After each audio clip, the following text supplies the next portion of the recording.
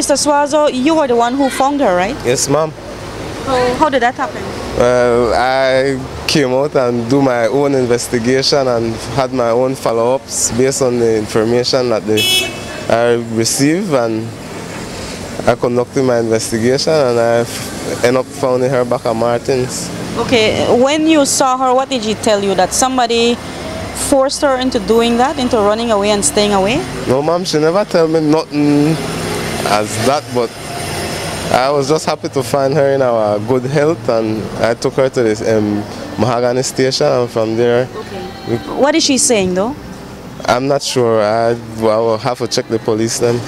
You just came from the police station. Um, I think your position is that the family wants a further investigation as to why she was missing for so long. Yes, ma'am, that will happen, but right now we're just happy she come home and uh, you know, I spend the week, spend the week and the weekend home. I'm looking forward for spending Christmas. I, I understand you're you're happy, but the case which is before us now is that this child was missing for several days, and sh- she's claiming, according to her grandmother, she's claiming that it was another classmate and another woman from Kings Park who held her hostage almost.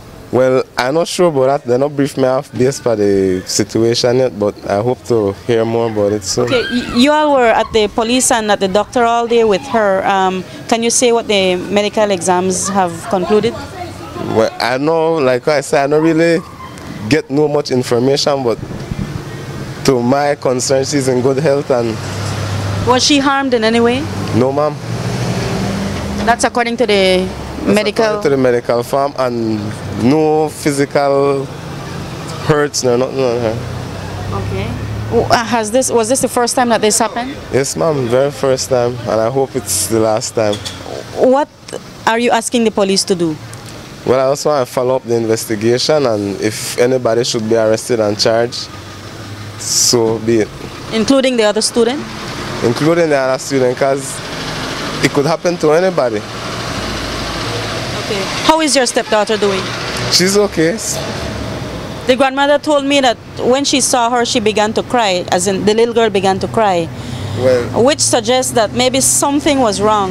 well, I'm not sure, but I uh, sit down and talk to her as a parent,